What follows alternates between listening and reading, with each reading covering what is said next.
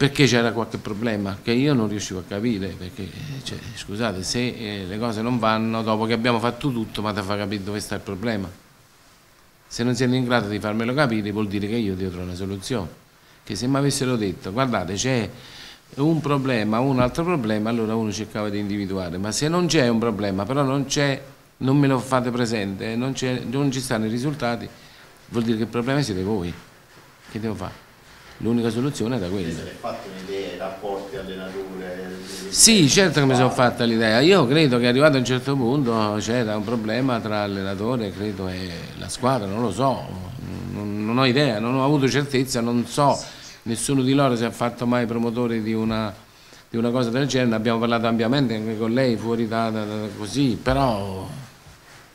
sinceramente non lo so. Certo è, non venendo i risultati, un problema ci deve essere. Il passato è andato e Angelo D'Agostino ci ha fatto i conti in modo anche doloroso, soprattutto dal punto di vista economico, ma ora è tempo di guardare al futuro, che è affidato saldamente nelle mani di Raffaele Biancolino. Mister Biancolino non ha una fiducia a tempo, ma una fiducia piena, per cui credo che eh, lui deve fare il suo lavoro con la tranquillità che lo distingue e con il carattere che ha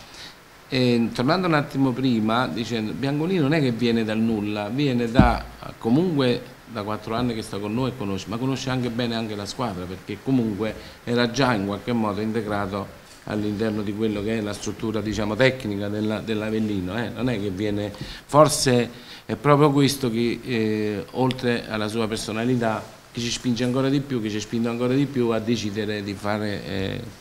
eh, di dare fiducia a lui perché magari si parte già da un po' più avanti al contrario di come si può partire con uno che viene oggi che dirà esattamente quello che hai detto tu eh, ma la squadra già era fatta eh, sicuramente anche lui non è contribuito però diciamo che c'è un vantaggio che li conosce il presidente dell'Avellino sabato pomeriggio ha rotto il silenzio e lo ha fatto per chiarire i motivi che hanno portato alla rivoluzione, per presentare Biancolino appunto, ma anche per richiamare i calciatori biancoverdi alle proprie responsabilità, in vista della sfida di stasera a Crotone non solo perché gli obiettivi non cambiano. Non è che abbiamo dimensionato il progetto perché abbiamo tolto una metà dei calciatori e l'abbiamo data a chissà chi, cioè, stanno lì, la squadra è quella, se si vinceva prima con quella squadra mi dovreste spiegare per quale motivo non possiamo vincere ancora. Cioè, è, il mister sì, sicuramente, però abbiamo visto che all'inizio eh, non è andato bene, quindi dobbiamo cambiare, cambiamo, ma se la squadra è forte gli obiettivi sono sempre gli stessi, noi non possiamo cambiare obiettivo perché l'obiettivo era ed è e resta quello, fino alla fine. Poi è chiaro che siamo sotto il cielo e siamo in mezzo al campo, bisogna, bisogna che ognuno fa la propria parte eh, ci appelliamo a quello che è diciamo, soprattutto la squadra che cominci a, a, dare e a dimostrare quello che realmente è e quello che realmente diciamo, eh, sappiamo che è. E se non cambiano gli obiettivi non cambia anche la volontà di D'Agostino di realizzare il nuovo stadio Partenio Lombardi. Per quanto riguarda lo stadio, io mm, sì, eh, ho sentito pure io Zavanella, so che dovrebbero presentarlo a giorni, però eh, si è perso un po' di tempo in più perché l'elezione, le cose, adesso dobbiamo capire il comune come intende portare avanti perché ormai la palla passa a loro, non è che possiamo fare niente, più niente. Presentato il progetto poi dopo bisogna che loro facciano tutte le, le,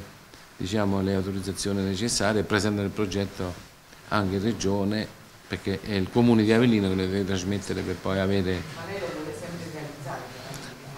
Ecco, stiamo sempre lì. Il nostro obiettivo, voi pensate che noi per lo stadio fino adesso abbiamo tirato fuori un po' di soldini, non dico quanto per una questione di privacy, ma molti.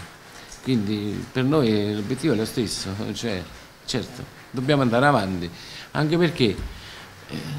come stiamo non è che siamo messi benissimo, insomma, voglio dire, no? Sta sotto gli occhi di tutti, credo che sia la prima cosa pensare anche a una casa dove magari fare un campionato diverso da quello della Serie C.